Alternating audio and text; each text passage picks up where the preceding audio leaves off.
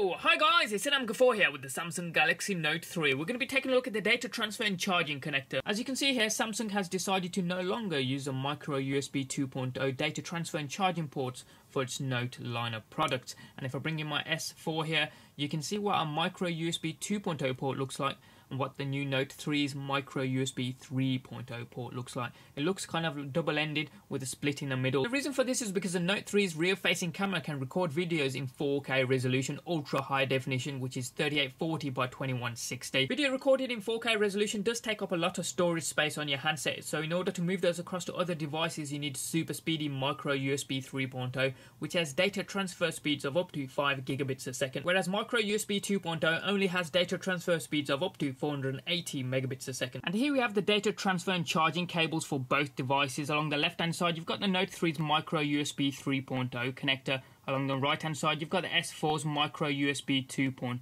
connector. Essentially, both connectors look very similar. The Note 3's connector has an added rectangular connector to the right hand side as you can see there. The other ends of the cables now and you can see the size and shape of the connectors are exactly the same. However, the Note 3's USB 3 connectivity is symbolized with a blue interior along the left hand side and the USB 2 connectivity for the S4 is symbolized with a white interior along the right hand side. I wouldn't worry if all you have access to is standard USB 2.0 ports whether on chargers or on computers because USB 3 is backwards compatible so you can still use your micro USB 2.0 cable like I have here from my Galaxy S4 or any other micro USB 2.0 connector that you have.